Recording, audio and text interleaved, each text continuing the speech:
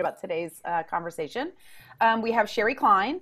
Uh, Sherry Klein CAS is an Emmy and uh, CAS nominated re recording mixer for television film at Smart Post Sound in Burbank, California.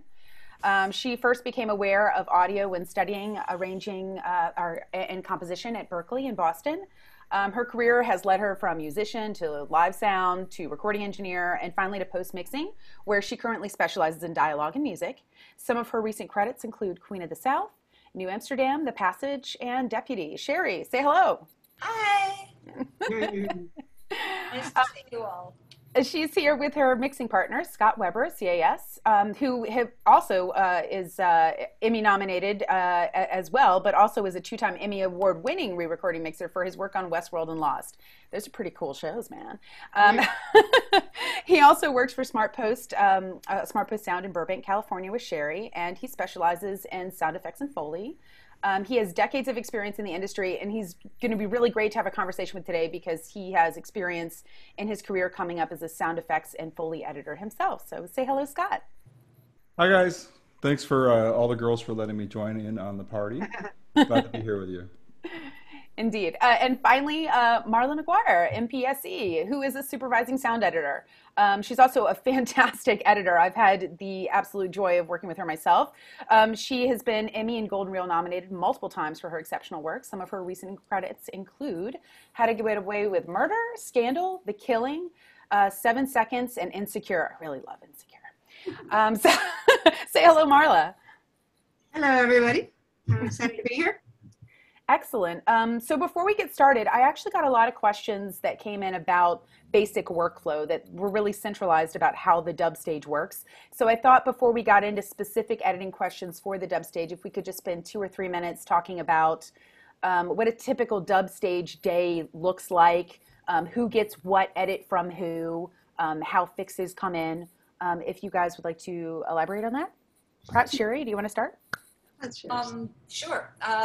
But whatever I'm going to say isn't the gospel because every dub stage works differently. And everything that we're saying here today, you all have to realize, depending on your mixer, your supervisor, the room, the stay, all of it will change. Mm-hmm. It's not the gospel truth. It's I'm talking about the way that we work, Scott and I, and uh, our supervisor brings in the materials, and as well as the music editor, it gets to um, uh, Scott can get a little bit further into it if he wants to, but the way that we work in a nutshell is we work separately. Um, these days, Scott's been working uh, on pre-dubbing his effects at home. I work in the studio, and we send each other files back and forth to refer to. And then he comes in the next day, and we work together and put it all together and spend the day refining it. And if we have three-day mix, then the clients come in the third day. If it's a two day mix, after lunch the second day, we're playing back for the client. Uh, before that, we still work separately. Even if we were in the same room, Scott would be on headphones.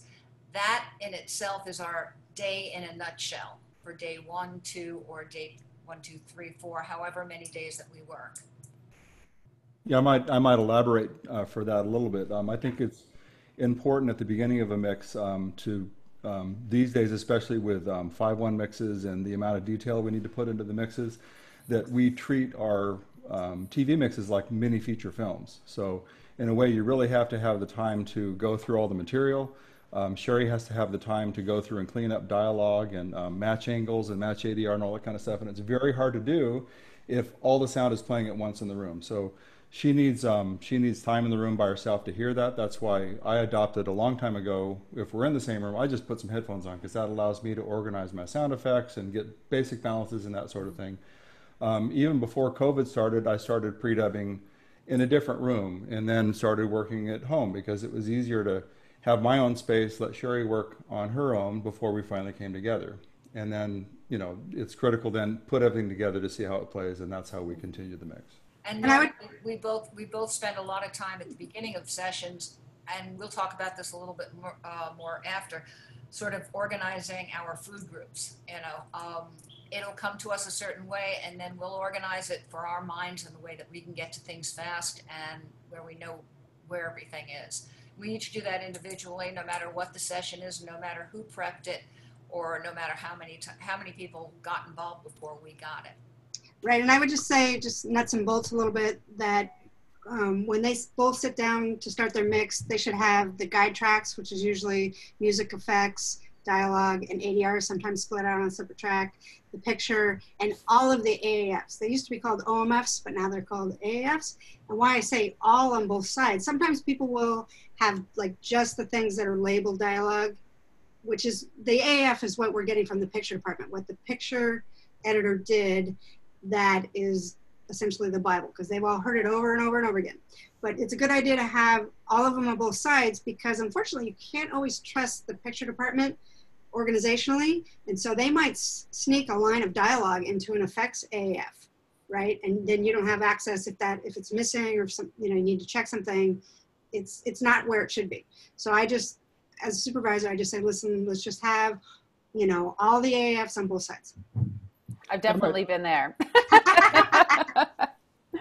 Yeah, I might add something to that. Um, before the mix starts, um, Sherry and I have made a habit of um, being in touch with the picture department and being sure we have a copy of the show before we start mixing. And we spend the time to screen it ahead of time and get familiar with the show. Um, because the intention, what happens in the edit room, follows right through into the dub stage, and they expect to hear the same sort of sound design, the same sort of treatment on dialogue, the same levels on music. So I know Sherry even takes notes on all that kind of stuff. So when she gets there, she knows what to expect. And to carry on to that, um, uh, supporting the fact of having the AAF is that um, we need to have those same sound effects and dialogue files available so that if the new sound effects and sound design isn't exactly what it was from the edit room, we have access to those so we can um, use them or refer to them quickly. And who uh, typically sits on the stage with you when you come to? to so is it just you and and Sherry Scott, or or do you have the music editor there for that the day where you play together from the very top of the day? Uh, is the supervisor there from the very top of the day? Like, what's your pattern? Um, depends on the show. Um, typically, I think at the start of a show, um, we'll have a supervisor with us to make sure that we have all the materials we need and that everything's been delivered properly, and that um, if they need to wrangle stuff, they can still do that. Um, I know Sherry likes to have the music editor there from the top because there's a lot of um, you know, making sure that they have the right stems and all that sort of stuff. So I think to start with, it's, it's typically a supervisor and a music editor. I'd Sherry, say- any, anything to add to that? Yeah, I mean, if it's the first episode of a new series or a new show that we're working on, yeah, then the music editor will usually come the first day. But once we get rolling, it's been pretty rare to have the music editor unless they really want to be Mhm. um, on the dub stage for day one, sometimes even until the afternoon of day two if it's a three day mix. Otherwise, they'll come right before playback to be there for the client. Most of the time, um, they'll just deliver the music and we'll be. I text a lot with my music editors and I'll ask them questions via that since there's no more cue sheets. Mhm. Um, it's the easiest way for me because I know they're working is to text them and go, hey, I think there's a problem here or there's something going on here.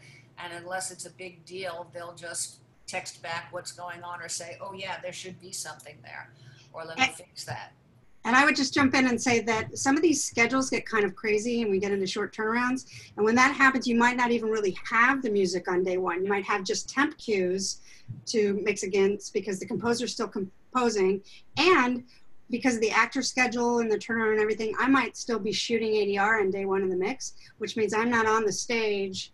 They're doing their thing. I'm shooting ADR. I'm feeding ADR to the stage, which we can talk a little bit about um, later. But so you have to just be super flexible and super communicative. And that's also why, just talking about layout for a second, I do what's called my orange group notes, where I just like make, you know, highlight three or four tracks and make it into a group re- region, color it orange, and write notes with like little arrows up and down. Because if I'm not on the dub stage, I want to be able to communicate because not every mixer is going to have time to do the kind of homework that um, Scott and Sherry do as far as listening to the show ahead of time. So they may have never heard or seen the episode. So if I make a note saying listen to temp, because they also don't have time to sit and go through the whole show and just listen to the guide track. But that's saying, listen, they did something special. Maybe they dropped out all the effects and just left the dialogue. Maybe they dro- dropped out all of the dialogue, or maybe they verbed it out, or maybe music comes up and there's no other sound. So that, so I just leave like little notes so that if I'm not on the dub stage, which a lot of times I'm not, um, they can kind of follow along that way. Could you also talk about how you deliver your fixes? Because you're very specific, more so than any supervisor I've ever worked with before, and I love it, and how you organize what you deliver to your mixer to communicate what replaces what. Could you talk about that a little bit, Marla? Thank you. Yeah, I actually, it's something I kind of developed over the years. Um, you know, I have a copy of the dialogue edit, and then, you know, like the first round of fixes would be like fix A, like fix A1, A2, A3, let's say, in a certain color. Um, so I will grab the dialogue um, that I'm fixing, and if it's an ADR fix, my ADR tends to be very complex because some people, what they do is they shoot all the ADR, and then an ADR editor cuts all the ADR, and they just deliver it to the stage, and the dialogue is put on the X track, which you know, and so some ambient fill is there, so that that's going to play with the ADR. Um, but they don't really finesse it. They don't cross between syllables. They don't cross between words. It's just this whole chunk that then Sherry or you have to decide where to do the cross. And I mm-hmm. prefer to kind of make all those decisions ahead mm-hmm. of time. So I will cut the ADR, cut the dialogue, and I will make a little roadmap. This is what you're talking about. I'll say replace dialogue A, even if it's by replacing it, you're muting it. So I'll mute that track. So all you have to do is grab it and put it on that track and and it, and it mutes. You know, I might be mm-hmm. add to dialogue B with a little arrow, and again, these are my little orange notes, uh, and that might be some extra fill, or I may have had to cut the line that's on dialogue B differently to accommodate mm-hmm. the ADR and where I'm going to cross. So it's just an absolute roadmap, and and what we've what we used to do at Shondaland because the ADR a lot of times was not shot when we got to the dub stage is we would put the temp in the, the cut tracks first. And what I mean by that is um, the picture department, like the picture assistant or somebody will just read the line. You know, it's just like bad acting. You know, it's just like, you know, they just read the line. Hey, stop. Yeah, exactly. and everybody knows that, you know, they can tell that it's the temp and we also color code it as the temp. Mm-hmm. But we leave that in there so that everybody knows what all the pieces are because Correct. I'll talk about this later, but a huge issue is missing lines of dialogue or missing words or mm-hmm. adding words, which is really, really can be a huge problem. Um, so if that's already accounted for, and, and not everybody does this. So again, to Sherry's point, everybody does things differently. Um, so now I've got to replace that. So I'll say, you know, replace dialogue E and in parentheses, I'll write mute temp, right? Same thing. So you bring up that, copy and paste it, mutes it. So basically, if you follow along in your hymnal, my little notes and just overlay, replace everything that I've done, it should just play right across. Uh, and then in my session, for those of you who want to be supervisors, um, I won't do that in the tracks because then I don't have any way of remembering or knowing what it was before or where I fixed or what I've done. So I do the thing. Like i will I'll, I'll mute it and i'll make a little group out of it. So it's just like this muted group region. And then the fixes are their own separate tracks still at the bottom. So at the end of day three let's say i can see in my main you know edit where i've done things. And then i'll have a group of like green tracks which is dialogue fix a. And then i did another track another fix. So that'll be dialogue fix b and there'll be a different color. And so you know if you make all the tracks mini or something really, really small and you zoom way out, mm-hmm. really have a roadmap of everything that you did. Because these guys can talk about you and you, um, you can get yourself way tied up in knots. You know what I mean? If you don't know what fixes came in and sure, sure. yeah. There's also something that I learned about um, from, well, I mean, I, I, knew this, but I really learned to a whole different degree that made me a much better dialogue editor, but also a much uh, better mixer, really, uh, that I learned from you, Marla. And it's these thing called these things called magic fills. She keeps, a, she keeps a folder of magic fills. Could you talk about your magic fills? well, I mean, we all yeah, I, Sherry yeah. yeah, but I, I, never did that before I worked with I her, and now I have an arsenal of magic fills. I have 20 little, years of things yeah. that I've just grabbed: squeaks, mm-hmm. even door opens, door breaths, S's, P's. Anytime mm-hmm. I hear, you know, something that I go, oh man, that's good, I'm going to grab it. And I have like fills from literally when I first started. I mm-hmm. have S's and P's, and I have their names on it, you know, of who I took it from, so I know that I took that S from somebody named whatever in Jericho, which was like Mm. 10 years ago, 15 years ago. I, you know, all those things that I keep and I use them because if I need a P or an S or a T or a ch or something like that, I just go and go, no problem, I got it. And it's faster for me to do it a lot of times than sending it back to the editor or the supervisor. Um, a lot of times with my supervisors, I love it. We have a running thing where you try it, I'll try it, let's see who gets there first, and maybe we'll combine the two of the best. Yeah, exactly. I- yeah, yeah, and I, re- I really appreciate that, Sherry. And and just to your point, like I will say the character's name, you know, and you can tell if it's male or female. But here's the thing, like if it's a P or a T or something, you're not necessarily going to associate that with that character. Or also, like let's say it's a male P and you need a female P. Well, you could probably just pitch it up, tack that bad boy on there, and now you've got a female P. And the other thing about the magic fills, for me, um, generally speaking, identification. It's What's that? name if you name them with whatever show or the character, whatever. It's just an identification thing. It's like, oh yeah, Yeah. I remember what that sounds like. I remember why that grabbed it, and it's amazing how many things you can grab and hang on to, and remember that you named it that with their name, and you remember the characteristic as you're grabbing it. It's weird. Yeah, and Karol, I think you might be referring to. I've got two little magic fills in particular. I think they're both from Scandal. Um, I one, think I have them too. uh, one of them is just like Scandal 301 movement fill, and it's just this magic piece of movement because I think one of the things that I was not great at when I was first starting out cutting dialogue, and Sherry could attest to this actually, um, is I, I, I would make everything like too cleaned out. You know, like would hermetically seal, and I would clean out all the movement, and and and and what I've learned over the years is you got to let things breathe. You can't cut out all of the life. You got to keep some life. So sometimes I will use that magic piece of fill, mo- movement fill, and it's just the thing you need to help with the ADR, get into the ADR, get out of the Mhm. ADR. And there's another one like from Scandal, like David Ab- Abbey Footstep or something, and it is magic because it it's one of those things where it's crazy, but no matter what I'm doing, what what scene it is, what I need, if I copy and paste that in, I just move it around a little bit, and the movement seems to sync with whatever this new thing. is. so I would just highly recommend. I mean, in, in in general, fills are best from the scene or the location that hmm working in, but it is also good to have stuff just in case. But but for me, the real, you know, um, icing on the cake, the, the thing that really binds things together is the movement. One of the things that I really like about uh, your edits, and, and now I do in my edits, is um, is I, if you have an angle that's particularly hard to match, not necessarily because of the acoustic characteristic change, but the movement underneath it, the amount of cloth, etc.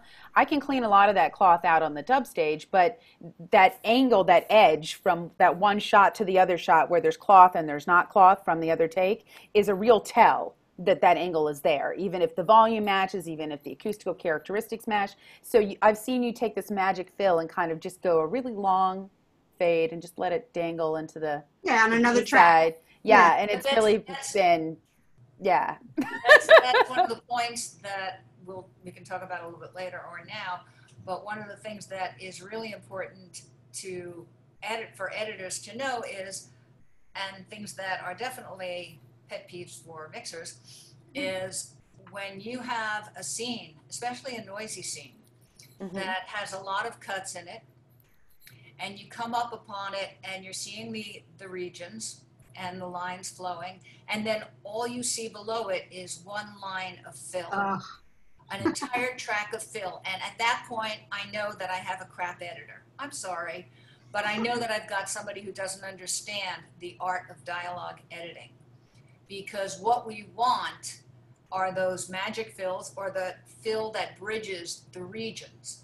And we don't want, or at least for me, I don't want rounded fades. I want long fades, flats, you know, flat fades, because I'm not trying to get all the sound in. I'm just trying to get a smooth transition between them.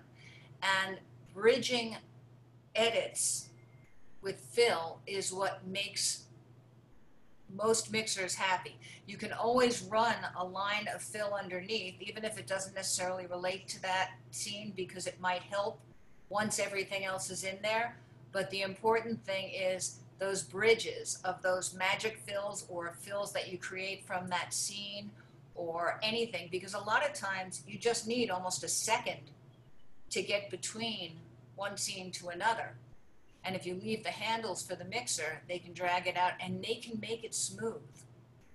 It's, Scott, do you have a little magic folder of, of things that you Oh, borrow and, and d- d- Well, yeah. So, do. and I in the a- I effects side, like do you have a- something similar? Yeah. I have three versions of movement tracks. So I have like a, um, a light movement, medium movement, um, heavy movement. Because what always happens is you end up with um, you have an angle that has all the movement on it. You cut to the ADR, there's no movement anymore. So I have, along with regular cloth movement, which which is shot with the Foley, I have this additional thing that I can put in to add a little more grit or movement.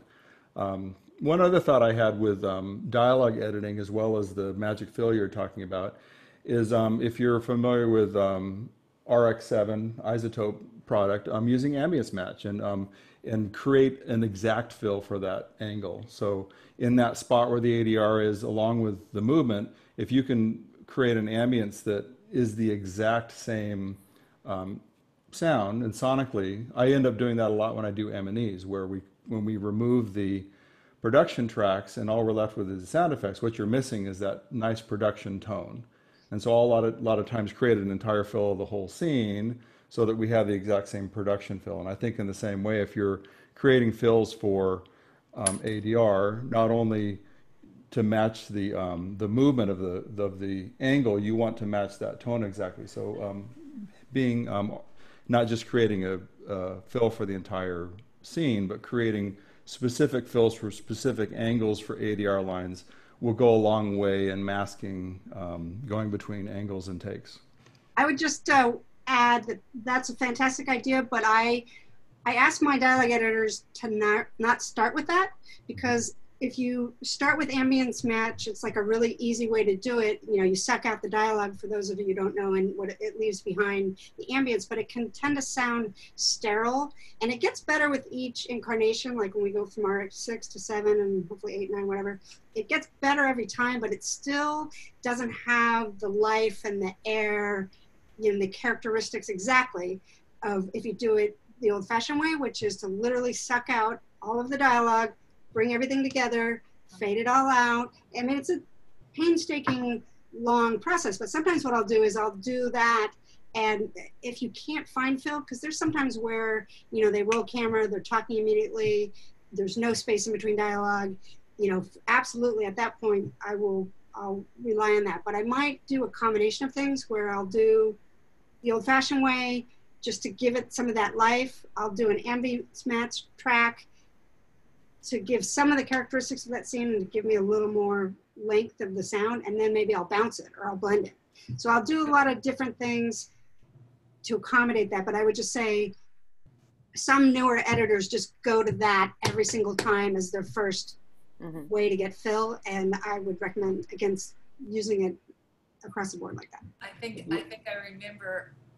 I'm not sure if this was it, but I remember way back at Sony during the analog days, and we were just starting with the workstations, and I remember getting a dialogue edit where the editor said, "I just can't. I don't remember who it was, but I just can't find any fill. There is no fill."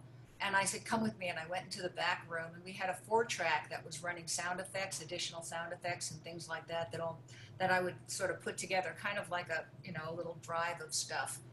And I went through there, and I just said, "Okay, come here." And I recorded like a minute of dialogue, and I started cutting tape. I just started cutting the tape, Uh-huh. out just what Marla is saying, cutting out all the dialogue, and I just pasted it together. And it went, and then I turned it around backwards, and then I turned it around. You know, I did all this stuff, and I showed the editor, editor, and I said, I need a second and a half of fill to get through this damn scene. And once I have that's it, it'll work. And so I put it in, and they just stood there, and they were like, "Oh my god!" And I'm like, "Yeah, that's fill. Look at the scene." examine the scene that you're in and see what kind of fill and how much fill you actually need because sometimes you can lay that sterile piece of fill on top of a piece that sounds like absolute crap Right. and it works And I will just add one more thing. Uh, whenever I cut dialogue, it used to be that like I would start with scene one and I would just get in there and I try to make that perfect. but you kind of run out of time if you do that. So you, I, I feel like I want to do passes, like the first pass, you know, like I'll split. I don't want to get too deep into that right now, but talking about fill, what I found is if I don't beat myself up, if I can't find good fill for scene one right now, I'll just do what I can. I'll make myself a little note. I'll keep cutting because maybe in Act Four they're in the same location, and and in that in that moment they don't talk. They look at each other for three seconds or four seconds. Well, great. Now I grab that from there and I go back to scene one, and now I rework it with this piece of fill. If I, you know, I could have wasted a lot of time without what I needed, and then find it later. And I think that it's important for most editors to realize that noise is not always your enemy. Mm-hmm. And that's a really important lesson to learn is that you don't have to clean up every piece of noise that you hear. Again, it comes down to examining the scene, your location, and your signal to noise. Absolutely. I had a very wise mentor once tell me smooth is better than clean. and sometimes, you know, the noise can be justified. I mean, you could like, you know, if he's not, if a person's not looking at the picture and there's this clunk and they're working and they're working and they're working and they're using spectral and they're trying to paint it out and they're do, trying to do all this stuff. But then, you know, the mixer, Sherry or, or Karol may just like go, go, well, wait, what were they trying to accomplish? They'll go back to the X or the original and somebody set something down in the frame. So it was like not probably not, not bad. Yeah, it wasn't a bad thing. Yeah. yeah. Yeah. I think the, the other thing to do, I know a lot of times I'm sure I'll be working on a scene and say, hey, can you go online for a second if I'm working next to her in headphones? I want to hear how much ambience you got, what's going on here. He goes, oh, I don't need to clean it out that much because um, Foley or backgrounds are covering that up. I don't need to make it that squeaky clean because it's going to play just fine. Indeed. Speaking, we've covered a little bit of this as we're as we've gone back and forth, but let's just uh, define some of our pet peeves, some of the things that really kind of put the brakes on the dub stage productivity. Um, what are some what are things that you would like to see people avoid in the editorial that you receive on stage? this is a very requested question and you know what i love i love that that editors were like just tell us what you don't want us to do which i love i love that i love this question yeah i'm going to say one thing i'm going to say these days what we expect on stage clip gain clip gain clip gain you have clip gain give us give us a flow I hate to be chasing faders on my first pass. It's a waste of time these days. I, I don't need you to mix it for me. I'd rather you not do any RXing or processing and just give me a nice flow so that I can start working on the scene when I get it. The other thing is something that editors tend to do a lot, and they're doing it by the book, but I don't want you to do it by the book. Splitting futzes where you hear a bump, they hear a bump, we all hear a bump, and you still split it because that's where the seam crosses there are ways to accommodate that by um, crossing them at a logical place that sometimes will create a subtle overlap, but the eye doesn't pick that up. Sometimes you cheat it where there is no bump because if you're hearing a bump, we're going to hear a bump. Mm-hmm. And we're going to have to fix it the way that we're asking you to fix it. Um, and you're talking about like when people are in the middle of a word and they like, oh, maybe yeah, they're on a phone. Because nine out of yeah. 10 film editors will cut it in the middle of the word, not on a constant, yeah. in the middle of a, even a hold, and you're looking at them going, "Why the hell did you do that?" Mm-hmm. There are ways to accommodate it, and sometimes you have to cheat it on both sides, but it won't bump. And the ear, if you're in the story, the ear doesn't perceive it. It goes with the picture, and it, you know, it'll actually work for you.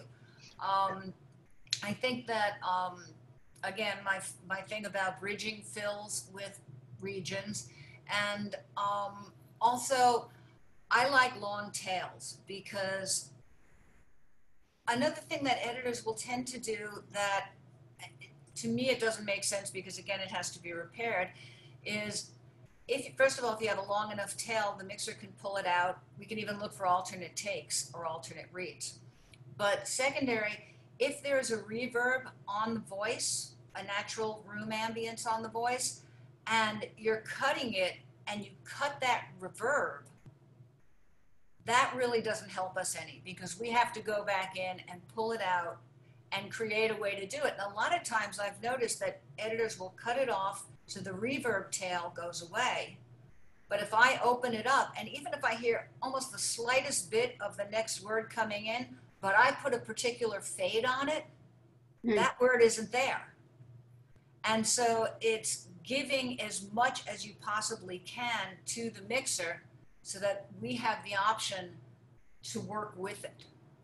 I'm going to let some other people step in because I have a bunch of others. Yeah, and I'll just Go talk real quick about some dialogue and then some effects. Uh, with dialogue, um, maybe not Sherry, but there are re-recording mixers who don't mind if you do some RX, provided a couple things. You know, like like it's better if you kind of manually go through and, and take out ticks and pops, you know, as opposed to just you know highlighting 10 seconds and then hit process because you're going to lose some of the authenticity you're going to lose the performance you know like there's there's performance in those consonants and those t's and those p's and stuff And sometimes Um, diction. You can lose, yeah. di- make diction blurry. right and the clarity but if you do process something and, and you think that it's pretty good i would say two things one handle the whole handle out like five seconds on either side do it to all of it and then handle back in and then do your fades and that way if somebody is you know mixer wants to do what sherry just said where like oh they cut off the reverb or why did they chop this this way? They handle out it's been processed but when they handle out they have a handle as opposed to they just process you know the whole thing with the fades and then the mixer goes to investigate and they they can't. So that's one thing is And they also have to give, uh, keep the originals in a. well that was my second thing i was going to I say is didn't that mention that, but yes. Yeah. So the sec- so that's the first thing is to to do more than you need and then bring it in to cut. But then either underneath muted with a little orange note or on the X or whatever you've already discussed with the re-recording mixer is the completely raw, unadulterated, here you go. And that way, like it might not sound overcooked to the dialogue editor, but it gets on the stage and with your chain and whatever, you're like, whoa, that is way overcooked. I need go to go back. And then there's other times where it's spot on and they can just kind of move through the edit quickly. And then with, effects, I would say two quick things, and that is sometimes effects editors, because they want to really make sure that um, everybody, the effects mixer and the client and the supervisor have all these choices, they'll cut just a ton of stuff. They won't mute it. And so, like, you know, the kitchen sink just comes at, you know, Scott, as opposed to, okay, yeah, let's give everybody choices, but let's mute some of the alts and let's have it play the way you, the effects editor, thinks it Or works the best. Yeah, same thing with a, with ADR. Like. ADR cutting cutting the group. Don't just let things stripe across and then make Sherry and Karol have to wade through and figure out, you know, what's going on. Like make your decisions and then give it to the mixer. And then if the client's like, hey, do you have an alt or I want this and my that, you guys can go spelunking um, and find something. Go, oh, how about this? Um, that's first thing. The second thing is with effects editors, especially these days, and we're all probably going to keep talking about this, is uh, the temp is the king, and everybody loves their temp, and they've got temp love, and it didn't used to be this way. Like when we did once and again, it was really not about that. Like you know, We didn't have the six channels. Well, we had a didn't- D88. Remember Bubba and the D88? Yeah. Right. Um, but um, so everybody wants to get back to the temp. So, and sometimes what effects editors do is they will you'll you'll put in your notes, hey, they like the temp, and they'll grab the AAF and they'll put it in their tracks, but they won't clean it, and they'll have like crickets and then a gunshot and then crickets because that's what the picture department did because they don't know any better. Um, so so I would say again, talk to your fix mixer, but bring up those AAFs, clean them up, put fades on them, put them so that they make sense, color code them so that Scott, for example, can quickly get back to what they did because even adding stuff can be a mistake. You know what I mean? So it's not just, oh, we're we used to have this thing and now we don't have it. But if you've layered on all this stuff on top of what they did, that's also considered a mistake because now they can't hear you know what they want to hear which is just their stuff unfortunately but i but i always just encourage people and this is with dialogue and effects to go with the spirit of the note meaning you know sherry was talking about how you know there's rules and that's great but you gotta know when to break them and that's just that comes with time and experience so again like if you're cutting for futz and they cut right here a beginning editor is going to think they have to cut right there but to what Sherry was just saying, well, maybe you need to give it a few frames so that it sounds better. So you have to be empowered to make some of these decisions like that. I want to put a little note in here for our viewers. Um, there was a mention of X tracks. Um, for those that are not familiar with X tracks are typically tracks that are not meant to necessarily be used, but may contain information that are useful to the mixer. Um, so, in other words, if you found an alt that you thought really worked for a flubbed line or a, or a bump on a line, you might have the original on the X track in case they don't like the read of that alt, or even an alt, another alt that you found that might be better. Um, or maybe a mic that, oh, this boom was really good, but we've been on lav the whole scene, and the boom wasn't good for the rest of that, but it's good right here. Maybe you want to go back to the boom those type of things, an optional resource. But these are inactive tracks that are delivered as kind of bonus material.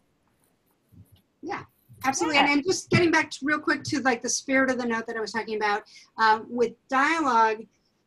I think if you're a new dialogue editor, you you may not be as tuned into performance as you should be as you go on in your career. And what I mean by that is you may think you've got a great alt, and you do as far as sound quality, but you're very zoomed in and you're like, oh, this one has a clunk, this one doesn't. I've made the sync, you know, to their lips. We're golden. Okay, yeah. we're golden, except for the fact that this has a completely different performance. So I encourage and I work with my dialogue editors to think in terms of performance. So if you find a, a dialogue alt that's the exact same performance, great, put that in first position, unmuted, put what they did muted in the X or just in the X unmuted. Um, you know, and you're good to go. But if it's slightly different, then you might keep what they did with the clunk and then have your alt underneath with a note that says, nice alt, different read or different mm-hmm. performance mm-hmm. or something. And that way, you know, it's not the end of the world if there's still a clunk in the line because the picture editor picked that tape. So then mm-hmm. when everybody's on the dub stage and somebody's like, oh, there's a clunk in that line, Karol or Sherry can say, oh, you know, I have an alt. It says there's a slightly different performance, but let's check it out. And then everybody can decide together whether they want to do that. And also, doing it that way really shows that you care about their decisions, you know, and the sanctity of the performance that they chose, as opposed to, oh, this doesn't have a clunk, I'm putting this one in, it sounds better. Well, yeah, but they may be attached, really attached to that read. There's also a question that I love that was just brought up in the chat. Um, uh, should you always keep the original version in the X track if you RX a clip? I think you'll find across the board the answer is Sherry, can you help me? yes, yes, yes. Yes, yes, yes. Please, yes, yes, yes. I've, I've had, yeah. I've, had I've, I've actually had, I mean, I do let people RX for me. I have a couple of people that I trust explicitly, but even them, occasionally I have to send them what I've done because they took out too much noise. They got a little overzealous. But I have had some editors that, aside from the X tracks, gave me an exact, if they did a lot of RXing, they gave me an exact duplicate of all my tracks, like six or seven tracks of just the dialogue raw, top to mm. bottom. And then they went and did their stuff. This way they knew I was covered and I didn't care that I had X tracks plus those. I always knew that I could grab the original real fast if I needed. So, yes, never assume that what you're doing is perfect. back it up. Back it up because a mixer will get their hands on it. And uh, uh, yes, so that's not usually a dialogue editor. Yes, that is a dialogue editor uh, editor task um, to give you the raw plus the processed. Mm-hmm. Yes. Yeah, and again, you know, and you can never say guess your mixer's ears. Yeah, and also getting back to what something that Scott said, if you might make it super super clean and you might not have had to. So now you've compromised the dialogue, but when Scott joins the party, you didn't even really need to take out all that noise. So mm-hmm. that you know that's an instance where you did it because you're dialogue editor and you wanted to make it as clean as possible. But if Sherry or Karol has the original, they may grab that and put it in, bring a little more of that life back, and then again, when Scott's folding effects come in, it's just a non-issue.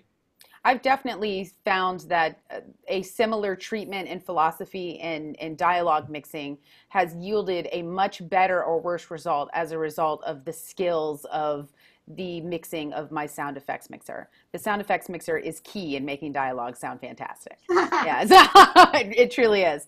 Um, there's a, a follow up question to the kind of pet peeves that I think is um, a really interesting.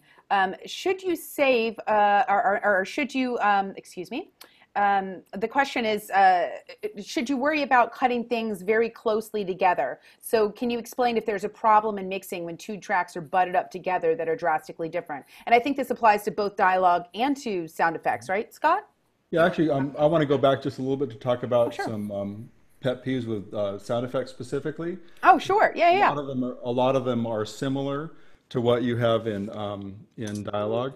Um, the first thing I would tell my editors to be um, organized, because the worst thing is to get a bunch of tracks that are lumped together and there's no sort of rhyme or reason where they put the door closes and where they put the cars and where they put the background. So we talk a lot about food groups. Well, things should be cut in food groups. Um, the simplest are, you know, sound effects, hard effects, um, backgrounds, Foley. Those are the three main ones. But then need to break them down into smaller groups. So um, typically, um, I like editors to cut more in film style, where we have groups of pre-dub tracks. So I organize them in, um, you know, effects A, B, C, D, E, F, and those might have like um, monos and stereos in those. And the first set of tracks might have like the um, the door closes and the specific hard effects and then as they move down they might have you know the car the cars are all on one track or if they're in a gun battle it might be you know the first actor who's um, shooting on this tra- set of tracks and here and then i have vcas that i can mix those together so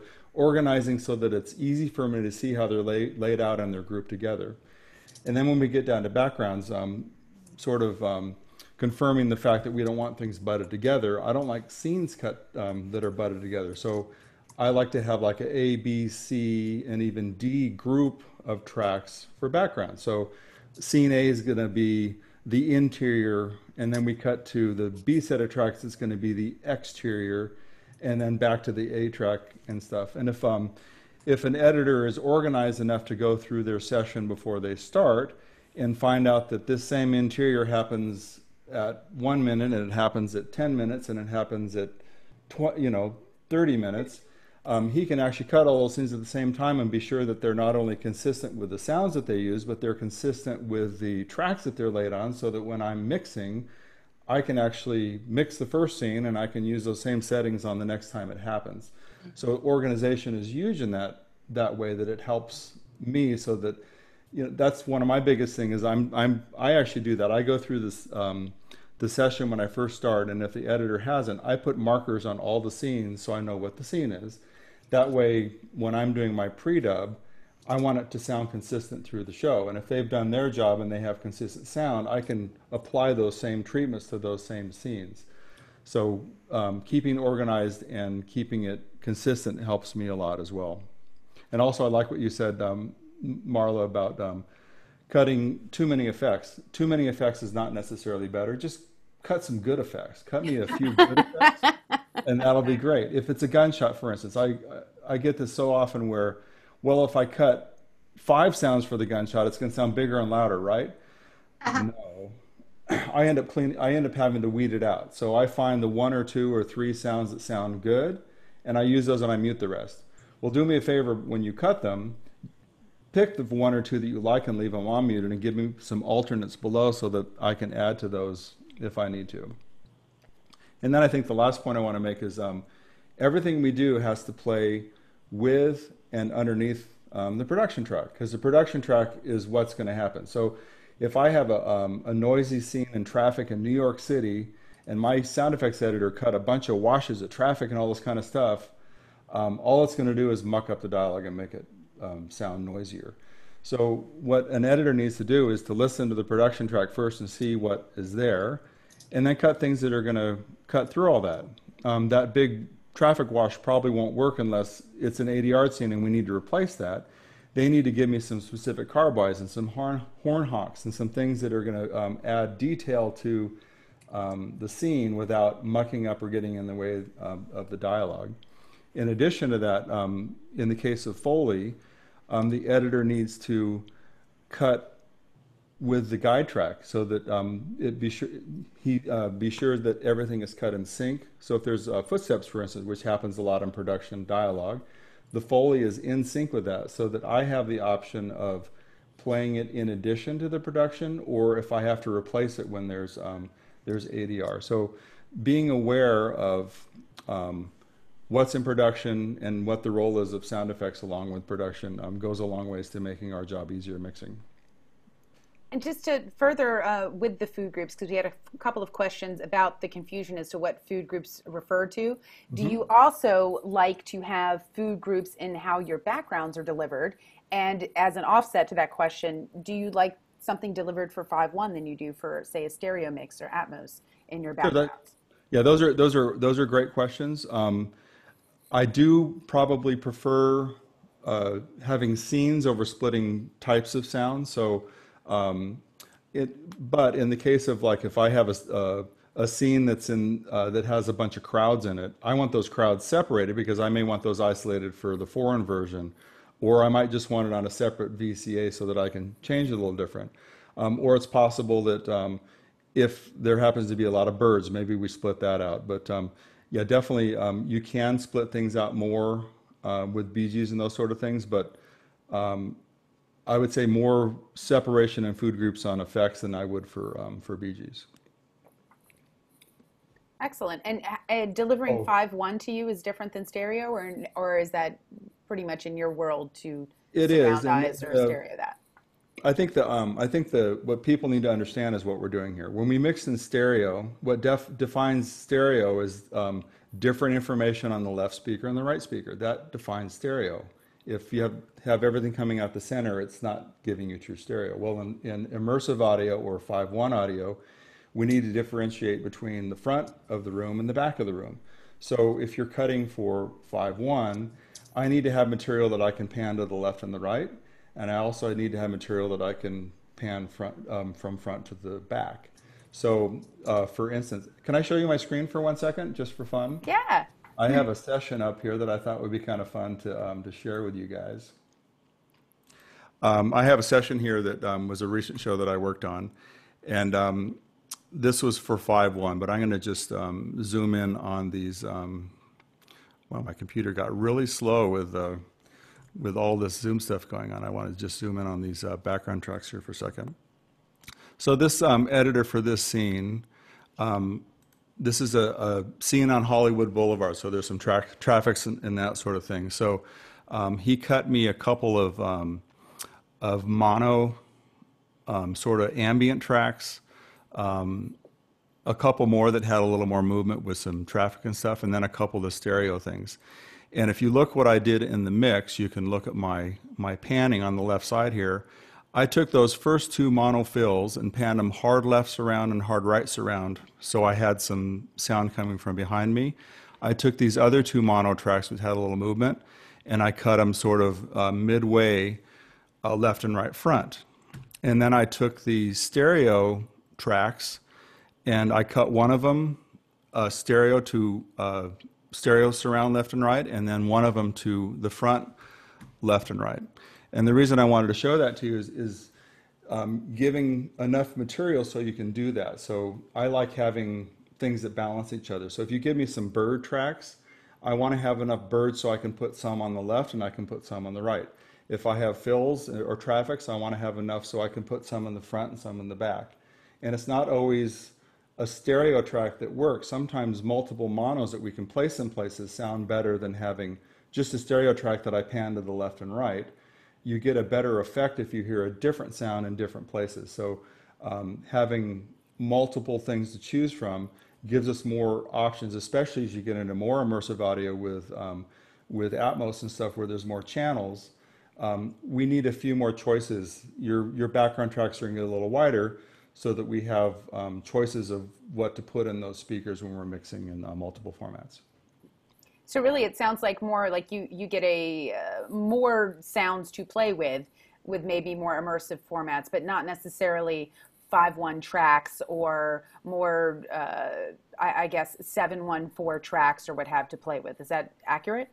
Yeah, I, I actually don't I don't like getting multi-channel tracks, five ones and seven ones. I've got them before where um, they've taken them from another stage or something, and they aren't always placed where I want them. And sometimes um, they'll have like a you know some specific sound that ends up in all the speakers and i don't i don't want that so i'll i'll end up putting um, like a spanner plug-in on some of those so i can repan those how i want them or split them back out to mono. So I, I would actually prefer monos and stereos for those sorts of things. And, and just a rule of thumb with that too is um, if it's a hard, a specific hard effect, um, a stereo effect isn't always the right choice. For instance, with cars, I would rather have mono tracks cut for cars than I would a stereo car effect because uh, splitting them to the left and right channel just makes it sound wide. I want that to be in a, a location where I can place it. So um, I'd rather have specific hard effects cut as monos and maybe things that are design effects or traffics that might have more of a, a left right feel.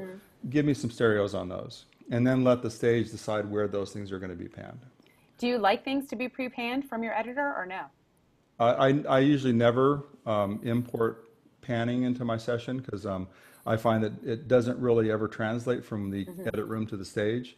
So I prefer to do my own panning. I think what I what I do like, um, like as in dialogue, um, I like to have good clip gain so that they present to me what they think it should sound like. So I can hear a um, listen to the the scene of backgrounds, and I can do an overall level adjust so that it's they they present to me how they want it to sound. Then I can dig in and do details on different tracks. But um, I think um, clip gaining from the editor uh, standpoint so that it's not just a wall of sound that hits me. I have an idea of what the sound designer's intentions are, so that then I have a chance to spend more time being creative and mixing than I do trying to sort out what where that track came from and pulling this down and um, figuring out what's going on in the in the scene. And uh, actually, somebody had asked exactly that, like how do they effectively communicate to their effects mixer what their intention is to their sound? And it sounds like clip gain is the answer, but um, they also asked how do you let your sound effects uh, mixer know that you intend something to simply be an LFE enhancement? Well, um, I've had this very case, and um, I've talked to my editor, and typically they just we just make an LFE track because I'm gonna um, I'm gonna send that differently than when I would a, a track that pans in the spectrum. Typically, um, I use 5.0 panners on all my effects, and then I use um, I use a send for the LFE. Um, and if they give me an LFE only track, I'll send it only to LFE. So that would be the the way to label that. Um, in addition, I'm a big fan of um, of region groups and labeling tracks. So if I have a complicated scene with five people shooting guns all at each other, they can region, region group the set of tracks. That's a, this is actor A, this is actor B, this is their gun, their group of tracks, or a car chase. They can differentiate those, region group those, and label it so I know what's going on. Um, I don't even mind um, markers, although I prefer to use markers for my workflow. So I think the um, labeling tracks and region groups within um, the edit session is great. Um, also, they can even put a region group on its own, a blank region group, and label them, let me know what's going on in the scene. They can give me as many um, notes as they can because we don't have cue sheets anymore. We're, we're basically going off the feedback what we have in Pro Tools now. So this actually brings me to something that I think is common in both dialogue and uh, dialogue music and uh, effects, which is um, identifying how the mixer thinks of their food groups. So uh, I, I, would imagine uh, Scott and, and please Sherry and, and Marla, please jump in. Um, I know I do this. I provide kind of a general template or at least notes as to like how many tracks I like to work with or you know how I like things split out. If I like a FUTS track or I don't, I'm not a FUTS track girl. I like you know colored uh, uh regions to tell me you know a particular color to say this should be FUTS. Um, you know I like you know group separate here, but specific groups separate from main group? Like, what do you guys communicate in your templates, and how do you get your templates to your editors? Like, well, it's like I said said before. Um, I have a sheet. I actually have a one sheet that I send out to all my supervisors before I start, and that explains everything. And then I ask for the dialogue dialogue editor's phone number, or they will ask for mine and I will explain it in further detail. I personally contact the effects editor, I mean, the, the music editor and the dialogue editor as soon as I get on a show and they're assigned.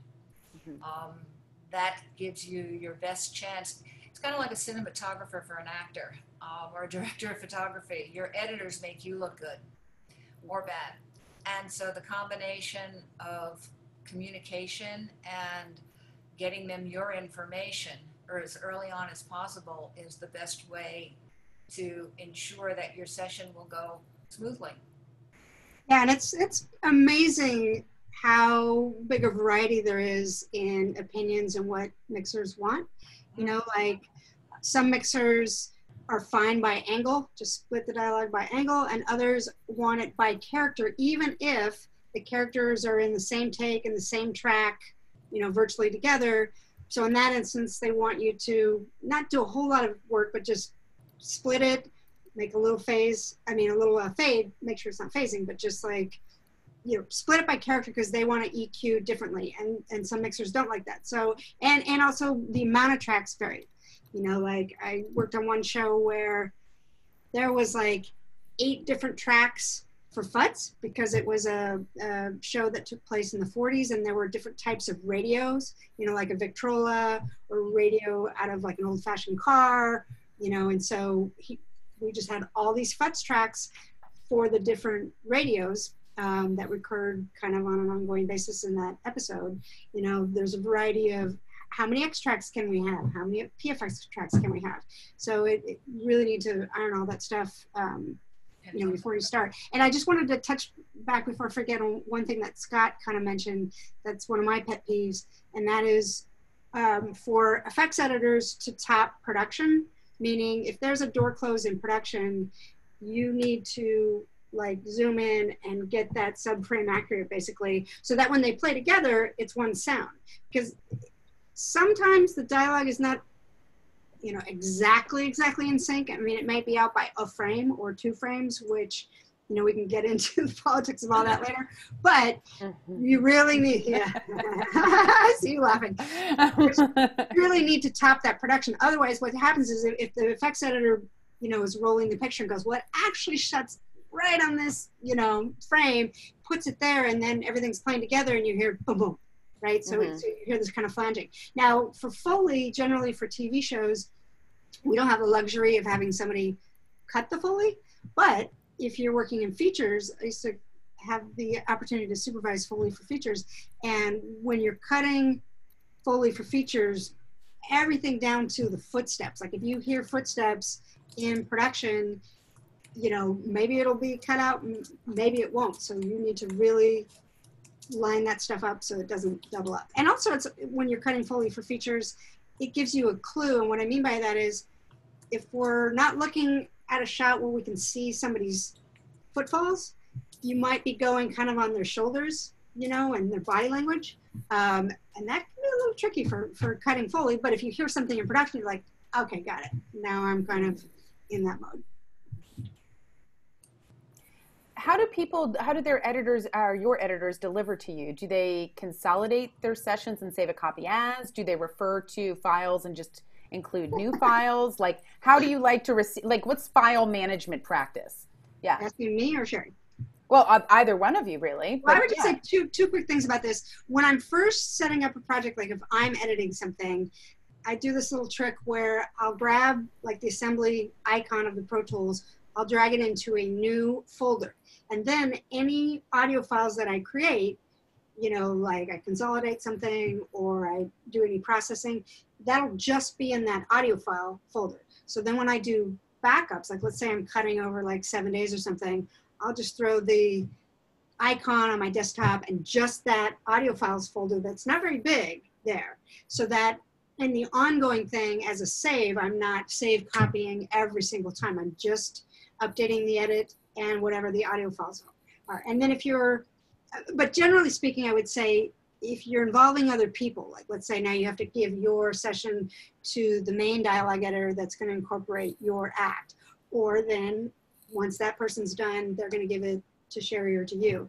My philosophy, even though it does involve a lot more duplicate files and you know can be a little cumbersome, is to just go ahead and bite the bullet and do a save session copy in. And that way, nobody on the setup of the dub stage, whether, whether it's a mix tech or you guys are going, Marla, I need this file. I can't find, the Pro Tools can't find this file.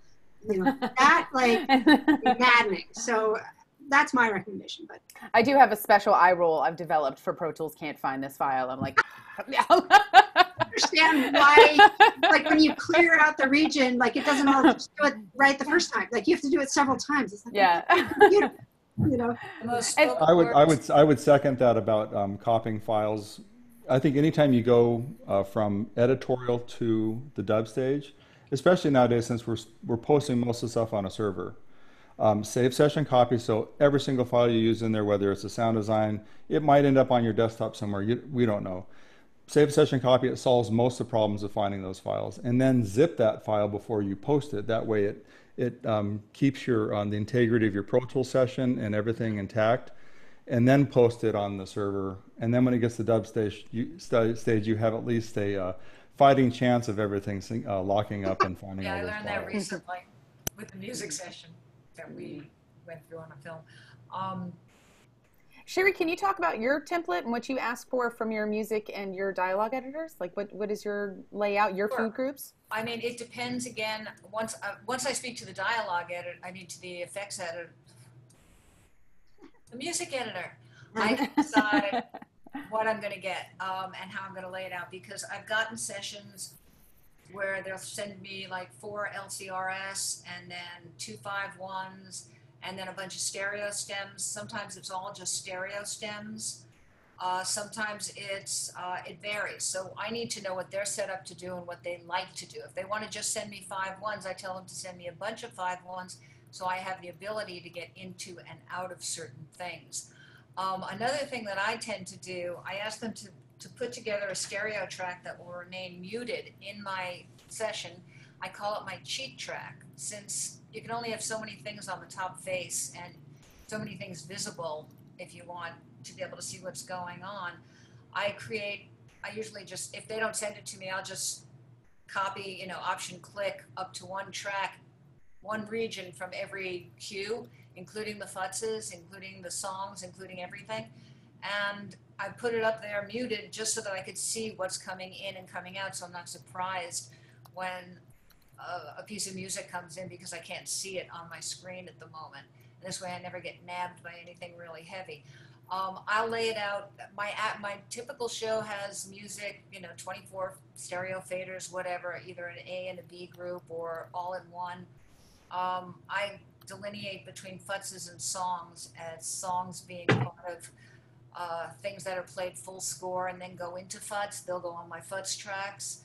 Um, and I run everything by a VCA grouper, one or two groupers to VCAs. And that's basically keeping everything at zero VU the way that the composer wanted it. But again, it you know, and then I can go in and vary instruments. I'd rather bring down an instrument than lower an entire cue. Um, there are many different layouts, but it just depends. That's why communication early on with your music editor is important. As far as my dialogue pl- template, I'm very fussy in the way that I like my dialogue set up, and I will spend an hour if I have to getting it to where I want it if somebody doesn't follow it. Um, I'm not somebody who likes every scene split up on different sets of faders. I don't care what it is, as long as the preceding last line is not on the same track as the incoming new line, especially if there's reverb or something like that that I'm adding to it or I'm coming out of. Um, I'll go as wide as I need to. I usually have a couple of futz tracks on. We did a show called Unreal where I had six futz tracks because we were doing different views of television screens in different rooms, plus headphone futzes, plus all different kinds of futzes. Just depends on what show show I'm working on.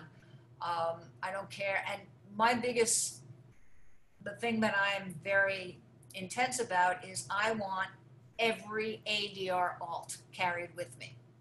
So that can involve a lot. Um, I usually go ADR 1 through 8, and the top four are the ADR selects. And I'll tell you where that came from. Back in the old days, when we were not on Pro Tools, we were working on a Harrison series, whatever, series 10, I think it was at Sony. And we had an A and a B side to the module. And a lot of the consoles had that, the analog consoles. They had an A and a B side. So we would have the supervisor put the selects on one, two, three, four, and then five through eight would be the corresponding alternate takes. So we could hit A or B switch. So I still like them on my top four, and I'm somebody who would like if channel one has ADR select, channel two would be alt muted, three would be alt muted, four would be alt muted, five through eight. If there's 40 takes, I don't care. I want them down at the bottom because I tend to go mining through for inflections and pieces and I'll put together whatever I have to put together to try to save production or to make the ADR work. So if something's on channel two for the alt, the ADR select, channel one should be an alt muted. And as long as it's muted, I know that that's a mute, yeah, an alt. But if it's open, it's a select. And if they're stereo channels, I ask them to give me the one that they believe is the one that closely matches the dialogue around it, the production around it, and mute the others. And so I may only have two takes in my first four tracks, and only one channel is open, but I know that it's boom, lav, boom, lav, and keep them the same in that way. Mm-hmm. Um, and I just tell I tell my editors to put all of the ADR I call them raw tracks. And sometimes there can be 40 or 50 takes of something, and I don't care.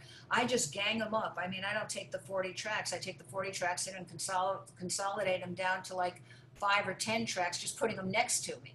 Because Mhm. at that point, they're not edited anyway, and I'm doing the editing on it. So a lot of times I'm, I'm very specific because I, I don't want to see blank spaces on my ADR. I want to see them full if there's alternate takes. And I hate seeing, you know, something on channel one and then channel five and there's nothing on two, three, and four. It's like, why?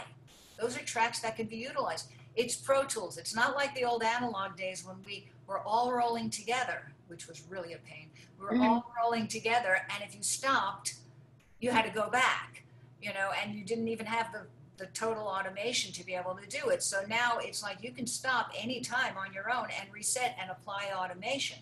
So I don't care how close things are in that way. Mhm. Um, I don't need each character on a different. I, I, I love seeing all my ADR on channels one and two, or one, two, Mhm. three, four. You know, just ganged up so that they're in my visual on my top layer. Like I said, I have a template layout that I send out to my supervisors, and I'll gladly, if anybody wants to email me, I can send them a copy of the sheet that I send to my people, my dialogue editors, and I'd share it with you and no problem. So just feel free to send me an email, and I'll send I'll send it out to you. I'm wondering if I might um, assert myself a little bit here. Uh, I, I've often had a couple of conversations through my mixing with editors where they've referred to, oh well, it's on the such and such track, and and they go they, they and then they say, well, you don't you don't keep my tracks, and I think to myself, I was like. I can't keep your tracks. Like it's not it's not a personal thing, but the process of mixing requires me to set up a system where tracks are grouped and they deliver themselves to the recorder in a manner which we can split out separate things for deliverables as well as monitor the sum. So I, I can't bring in your tracks. I have to take your material and bring it up to my template. And it's not it's not personal. It's it's about spigots. It's about signal flow. Yeah. I, I had a, um, I had thought about that, communicating with the editor on what they deliver to the stage. And um, for me, with sound effects, especially when you're running into hundreds of tracks, is that um, before we start, we come up with a template. Um, if it's an experienced editor and he um, has a certain way he likes to work, I'll go with his template because he might like to cut a certain way, and I'm okay with that. I'll adapt my template to match his. If it's if it's um, someone I haven't worked with before, I'll say use mine. And um, the biggest thing um, is track labeling. I want the tracks to be labeled exactly the same because I want to be able to match the tracks and pull them into my session. I don't want to have to be worried about, oh, well, these are the mono A effects, and the, but they're labeled um, effects A instead of A. Right, effect- right. those are the things we communicate before we start. So we'll do an exchange of um, Pro Tool session. If they don't have one, I send them mine. It says, here's what I I typically like. This is the effects. Here's the backgrounds. Here's the foley. Here's my ad effects or wall tracks. If you can cut it within here, that's great. And then they might get back to me and say, well, I really um, would rather cut like this. And if I think it's a good idea, it's good. But then we establish it for the show, and especially on a series, you want to establish so, so that the series has exactly the same thing. And when it's the first day of the mix and um, we're having server problems and the um, everything's being delivered at 10 minutes to 9 because we had problems, Never I want to be able to, yeah. I want to be able to um, import the tracks and match the tracks and zip them into my session and start working because uh, that's the that's the biggest thing to um, to stop efficiency is trying to find the right sound effects and put them on the right tracks. Um, when if everything is streamlined and organized, it can save a lot of time. And, and also character limitations. Like I get a lot of things that are very detailed notes in track names from music editors that I haven't had the opportunity to work with, or they came on late, or what have. And they, will deliver something and be and they'll be like, "Well, it's on or, orchestral six. and I'm like, "All right, well, orchestral six is more than six characters. So if if I were using that track, all I would see is orchest for like, do you know what I mean? Like I don't, I can't I have now I have to bring it up and relabel it. You know what I mean? Yeah. So the, the labeling is it, there's a there's a, a, actual console functionality to the labeling as well. And also, I, could, I could go back. Just quickly, with, just quickly with music tracks, um, if I have one or two tracks, you know, if they send me a lot of additional tracks, a lot more than I'm used to, and I'm trying to cut down on some tracks because I may have more tracks than something else that I need, I'll just take certain tracks and just put them on blank tracks in the music. So I'm not looking at, you know, whether it's uh, synth one, two, or three, all the way on the left in my labeling. I'm looking at the track name. So I just want it really concise so that yep. when I turn on that name, I go, oh, yeah, I know where that is. Yep. And, you know, I can get rid of 10 tracks sometimes by consolidating that way because there are so many blank tracks in my music mm-hmm. stems. There's also sometimes a limitation in the um, capability of the equipment. Exactly. And depending on what stage you're on, we may be on a brand new stage that has the latest and greatest HDX3, and we don't tracks and voices are not a problem. But um, that's why it's important to communicate with an effects editor, especially says, okay, you can't use 100 tracks for BGs, and you can't give me, um, you know, all these five one tracks because um, not just those tracks. It takes horsepower to run my plugins. I have to have mm-hmm. DSP in order to run the reverbs and to route everything to the recorder and all that kind of stuff. Mm-hmm. And so it's important so that the editor knows the limitation of how many tracks he can cut right. and um, give him those guidelines before we start to make sure that we can play his tracks when we get to the stage. I just wanted to jump in on something that Sherry reminded me. She was talking about presenting the ADR and picking the best mic and, and all of that. Um, that reminds me in both dialogue and ADR, one of my pet peeves is people who don't make the tracks subframe accurately mm-hmm. phased, you know, like dead nuts in sync with each other. In other words, whether it's on the set or on the AD, on the ADR stage, just the mechanics and the physics of stuff is such that you know the boom mic and the lav might be four subframes out from each other, and sometimes you even need to invert the phase. And when you zoom in and you manually, you can do it manually, you know, line up the peaks, and let's say the other one is like that, and when you invert it, if you undo and redo, you can hear it going from thin and either phasing or slightly yeah. thin and fat and luscious and beautiful. And yeah, yeah. there's a software called um, Auto Align Post um, that will do that for you, which is amazing. And you should also use that in your dialogue because and this is a whole other thing whether to use the mix track or not use the mix track or you know once you're adding a lot of um, different mics. At the point where you're you have more than one mic going you have to make it sub absolutely 100% aligned. Um, and then because i'll use a lot of tricks even in the matching of the adr where i'll do like a long crossfade like let's say you know a scene you're, you're able to use the booms for a while and then suddenly the boom is in Kansas and you've got to go to the body mics, which you want to avoid at all costs, but you have to. And then later in the scene, you're able to use the booms again. So I may need to slowly transition using both mics, you know, and do it in such a way that Sherry or Karol can undo my fade or whatever I did. But like I'll make a real slow transition going between mics. And I may even do that with the uh, ADR between the boom and the body mic in order to have it match and same thing. So in order to try any of those fancy tricks, these things have to be dead. Absolutely. Mm-hmm. Yeah. We hear yeah. the phasing, even if you don't hear it in the editorial yeah. room, we will hear the phasing immediately and have to choose one or the other or get a get somebody else to auto align for us. I have actually, a, um, oh, go ahead. But I just had a little plug for, you know, mm-hmm. there's there's some expensive programs that line th- these things up. If I could put a little plug for um, Absentia DX, which uh, not only is good for noise and that kind of stuff, they actually now have a, um, a, a, phase synchronization um, module in there that will do that sort of thing. So, oh, really? um, it's it's brand new. It's sort of in the beta phase right now. I, but, I um, absolutely love that tool. So Yeah. it, it also does some things like you can get rid of, um, you know, generator EMI noises and that kind of stuff. It's, it's pretty cool. And the other thing, back to when we were talking about creating fills, um, they have a new thing in there um, called Airtone Generator, which um, it'll it takes a while to process, but it'll actually um, put some of the PFX and stuff back in there when it removes the dialogue. So it sort of helps to make a better fill than just a, a sterile fill. So uh, that's a good, not a real expensive product, but a very um, effective product that might be helpful for dialogue editors. Excellent. And then actually, this brings me, um, as we're talking about processing and, and plugins and all that kind of help, um, that brings me to a whole other uh, block of questions that were submitted um, concerning processing. Um, and the there's a bunch of specifics here, but mainly it people are trying to determine when they should process, when they shouldn't. Are there things they should not be processing, like broadband noise reduction? Are things they should avoid? Are things they should definitely do? Where do you guys sit on processing? Who wants to start? Go for it, Sherry. no, go ahead. I'm, I'm in the middle of something. Go ahead. Right, sending something back. Scott, why don't you go ahead? Yeah, I can I can talk about sound effects because we get this I'll- all. Yeah, the, then I'll do we get this a lot where um, a sound designer wants to apply reverb or they want to do some cool effect and all that kind of stuff.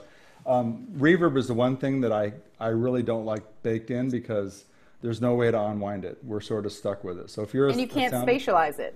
You can't spatialize it. And I'll, I'll get a track where they put a cool reverb on it and they leave it on a mono track. It's like, well, that doesn't help me any. Or even a stereo track, I can't really do anything to put it into the space. So um, if they want to give me a process track and then leave me the um, the, the raw one, that's the same thing with dialogue, so that I have the chance to unwind that. Um, as far as um, noise reduction and that kind of stuff, you typically don't deal with that much with sound effects. Um, I have seen cases where um, Foley's been processed if it's noisy, and that's um, not a bad idea if there's some uh, issues with the stage if, if it's noisy. Um, the other thing I would say is with background tracks, a lot of times um, I end up having to filter out low frequencies where stuff is too boomy or there's a lot of hiss in the track. Um, if um, if a sound designer is feels confident with that, I don't mind them taking out some of those rumbles or the high frequencies. Or um, I typically find um, a lot of background tracks end up having hums in them, and of course they're 60 cycle, they're 60 hertz or 120 hertz and I notch them out. Um, a lot of times, if I find the same effect file in a series, it happens all the time. I'll say, "Hey, can you just take this file and notch 120 hertz out of that file forever?"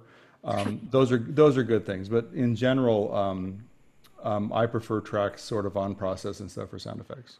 Yeah, and I would say in general, we don't do noise reduction for the re-recording mixer because then it ties their hands. The only time that I might do something like that is if something works great, like on one take, there's an airplane and I use dialogue isolate and it's like magic and the plane goes away, then I might like puff out my chest and like present that track and then, you know, mm-hmm. underneath do the raw one and say I and I'll say what I use. I'll say dialogue isolate take plane out, raw underneath. And then, you know, a lot of times they'll be like, great, okay, that worked. Or there's something that they they have in mind that I didn't, you know, realize, and so they'll go, you know what, okay, I want to not take out quite as much because of something else. Mm-hmm. I think I think that the golden rule is if again it'll vary with every mixer. For me, if I know the editor and I've worked with them before, or even if I haven't, I'll say how familiar are familiar are you with these devices with RX, Absentia, you know, anything. And if they say very, I say, okay, give me your best shot on what you what you can do with the tracks, but make sure you give me the raw tracks underneath. Um, this way, I'm protected and they're protected as well. Um, but I don't I don't mind editors doing processing as long as they're smart about it and as long mm-hmm. as they're as long as I can trust their ears. I have a couple of editors who nine, 99% of the work they send my way, it's such an aid, it's such a help. And then there's that couple of percentage, you know, they'll try it on the first couple of things and I just, you know, I say thank you, but I think you're better off just dealing with the little stuff and giving me my mm-hmm. clip gain and a great edit and I'll be very happy. I can take it from there. And um, you know, processing is something that is very individual, just like the way all mixers hear. Each mixer hears a little differently and processes a little differently, which is what makes us all special in our own, you know, our own way.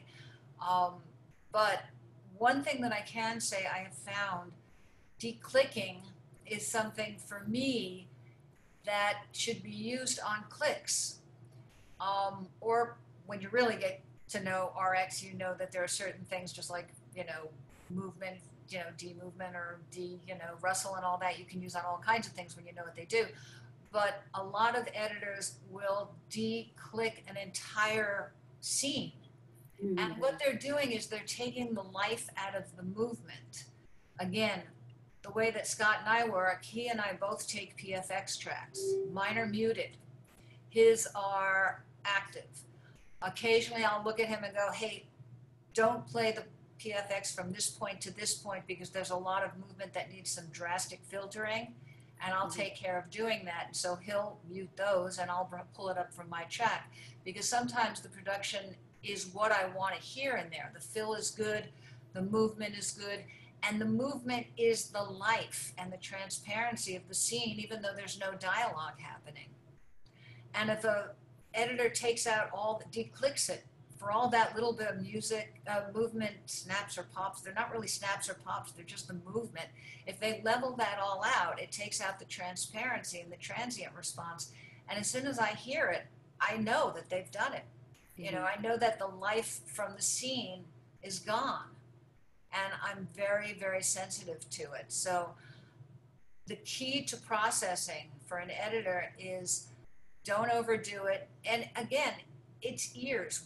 The mixers are not the only ones that have to have ears and critical ears. The editors have to these days. They can't just be cutters. A cutter is not a dialogue editor or an effects editor or a music editor. An editor is somebody that really has the skills to listen and to hear. So that's a general role. I, I had a, a thought I wanted to go back. You were talking about PFX and, and the fact that we both carry the PFX. And the reason it's nice for the effects mixer to have the PFX is um, typically there'll be a sound, there'll be a door close, it'll be in production, it'll be a hard effect, and then Foley will do something. So all those things will be, I'll have three of the same sounds, and I have to decide which one to use. And it's much easier for me to um, to use them and and, um, and decide which one to use. But in the case where there's something where there's some production noise, I actually have RX on my effect side because I'm I might need to clean up that effect so I can I can use it myself. So, um, you know, the RX is not just a tool that dialogue editors and mixers use. It's something we can use in effects too. Um, but in general, if um, if we're talking about um, dialogue editors splitting out PFX, um, if there's long uh, sections of movement, leave it in the dialogue track don't split it off as PFX. The only thing that should be split off for PFX are specific um, hard effect things, a door close, or maybe it's a, a specific car that's in a scene that's um, that's really good. That can be split off. But don't don't just split stuff off because it's not dialogue. Um, a lot of that stuff needs to stay in the dialogue track, so it's processed with the um, with the with the um, all the processing that the dialogue mixer is using. Yeah, Scott and I have come up against that a couple of times where I need to talk to the editor afterwards and say, you know, you're working too hard. Quite honestly, you're working way too hard. Um, you're taking out every sound that's between, and it starts making everything sound extremely cutting. Mm-hmm. So um, if you're ever unsure whether to pull out something, speak to your supervisor or your editor, I mean, or your mixer, um, or put it, you know, on a track below, muted. But the golden rule is let the track live, you know, and a lot of that movement is part of what makes it live. I always like the expression "do no harm." um, the uh, next question we have is um, uh, also uh, about ed- uh, processing and editorial. Is um, do you prefer rendered in, or do you want an automation with a plugin? Okay, that's that was a big that's a big thing. I saw that. Um, mm-hmm. Always render, always, always. render. Never always. give us never, never, make us have to take your plugin in. We may not have your plugin.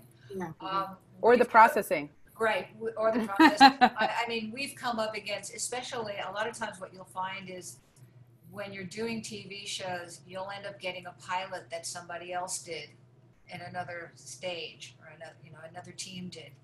And so they send you the session. And what Scott and I have done, because we've looked at these sessions and we're like, I don't have that, I don't have that, I don't have that. And that session is massive, and why does it have to be? And we just take it all in, and unless they're giving us just the stems to work with, if they're giving us the whole session, we just bring in the session materials. We work with the stems, and then where there's new material, we'll open up. You know, um, just the regions. We'll import, import all the regions and all the material, but you know, if you send us anything that has to be rendered on stage, it's not, it's not going to happen. You might as well just send us the blank track, or send us send us the rendered and then the unrendered if it's something you're unsure of. I have a, um, I have an exception to that, and only because um, we I ended up working on an animated show where there were specific um, Oh. characters that were uh, robots or whatever. Yeah. We had um, we had figured out the treatments, and um, we had figured out the exact plugins that were to be used, and the editor knew how to use those, and he would automate those things so that when it came to the stage, they were automated on plugins, but the mixer had the ability to go back. Yeah, in- and they and the of it. conversation had already taken place. That's right. That's- But, but in, in general, yes, it's true. You probably should render most things as opposed to um, relying on automation. Yeah. And uh, just uh, going into PFX and extra tracks and splitting things off, um, how, what about optional tracks for use in later international versions? Uh, Marla, do you ever ask for that from your editors? Do do uh, Scott and uh, Sherry, do you guys ever see those kind of international options included, maybe on extracts or muted? Well, for me, real quick, the main thing would be like in effects if there's English in the walla. So Mm. maybe it's like the exact right track and it's really great and it's going to be perfect for the domestic and you can't actually find a track that has that same kind of character with, that doesn't have any English. So you can do one of two things. You can cut out any English that you hear or you can like talk to Scott, let make sure he knows or put it on a separate track and say, this has English in it. The supervisor wants it for the domestic. Here's, you know, a knockoff for the M&E, not quite as good, but it doesn't have any English. Um, and the thing with dialogue that is sometimes tricky is if somebody's singing and let's say playing the guitar in production and that's all married. I mean, normally you want to have music and dialogue separate. So, you know, I usually kick that up to the producer and say, okay, can you check with international because this stuff's married. Maybe you want to put, you know, that person singing in an optional track, or you know, like let's say it's somebody making a speech, like Barack Obama or something that like you're probably not going to revoice Barack Obama. You know what I mean? So like that needs to be kind of married or optional or whatever. Like that might even go in the foreign with the English just because that's who it is. That from my perspective is I communicate with the producer and then I tell the mixers that it's coming. After that, I'm not sure what they do. I, I end up doing a lot of the um, the M and E, so I'm thinking on the stage um, what things need to be separated, and um, typically, um, as well as my hard effects, backgrounds, and foley tracks, I have an alt effects stem, a five one alt effects, or typically it's Walla, and I'll put all the Walla there, or things that I know that has specific English, so that it's not uh, baked into my background stem, so we have the ability to um, to pull some of those out. Um, I think it's um, with the dialogue tracks, if it's possible to split foreign language out, that's um, that is a good thing because those they typically want that an option track, uh, but it's not always possible. And of course, when you're delivering um, your material to whoever's doing the M and E, typically they'll give them the source session too. So they uh, still have the ability. I know if I'm doing an M and E and I have a foreign line that's overlapping an English line, and I have to split it out. I just have to go into Sherry's session and mute a couple tracks and string off a new new piece of it. So um, obviously, we when we're mixing the domestic, that's our primary focus, and we shouldn't um, compromise the integrity of the domestic mix for the foreign mix. Uh, but if there is areas where we can isolate a few things, like I do with my Alt Effects stem, um, it can be helpful down the line.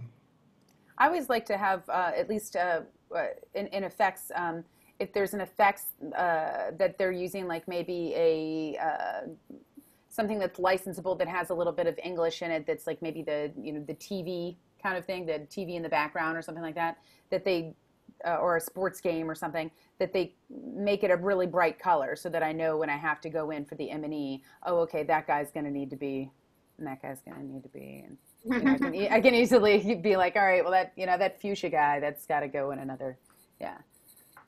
But I also like what I also like what Marla was saying is um, go through those background tracks and listen to them and get it rid of that dialogue before we have to deal with it because a lot of times it ends up in there and you, you don't hear it with all the dialogue in, but you're mixing the M&E and all of a sudden you hear this English walla in the in the bar scene that you never heard before and you have to go in and edit it out. So Or the mixer is Um, trying to lower it for like 20 minutes and looking for every show hide they can find and only to realize, oh damn, it's in the effects track. It's like, why didn't I take him offline to start with? So my next group of questions is actually um, based on communication, um, which I, I really love that we've gone into so much detail. But what I love is that there seems to be a natural theme through everybody's responses about how, well, oh, I communicated that specific case with this editor, or I communicated this with my mixers. It, communication really does seem to be key. So one question that came up a couple of times, and I love it. What is the most common question that editors don't ask you as mixers, but they really should? Your layout and if they, and the discussion of processing. Mhm. Not assuming. I think that's, that's one of the biggest is, um, uh, ask what the, what your preferences are for the edit. And, um, have a discussion with the mixer about processing. And also, one thing that I know is something that would be discussed later, but, um, I, and I know all of us feel this way, anytime an editor has asked to come down to the dub stage, once they've been editing and they have a free day, I love it. And I know that they see things that they never thought was happening. They, it's just like production mixers. You bring them down to the dub stage and the world opens up to them. And nine out of 10 times it changes the way they edit because you can show them right there where you're having an issue or what worked so great. Thank you.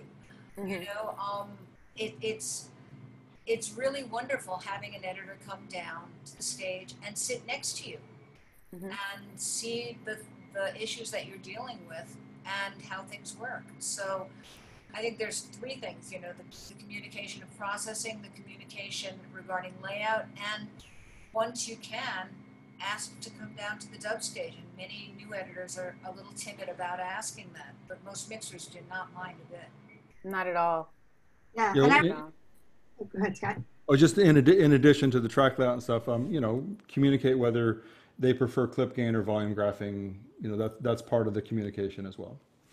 I was just going to say, yeah, and speaking to Sherry's point, if you are just in your little room editing all the time, you're going to just keep doing things the same way over and over again. If you reach out to the mixers and say, after every mix, even, or just say, listen, I'm available after every mix if you have time and if you have feedback and you don't want to like take up their time, but just let them know that you want feedback, you want to come listen.